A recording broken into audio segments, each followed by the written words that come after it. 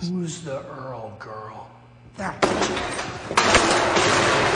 Who's the girl, Earl? Whoa, whoa, am I under arrest here? No, you're not under arrest. God, that was loud. It scared me too. But uh, w- w- we need some answers. Guy out there is talking about coupon videos.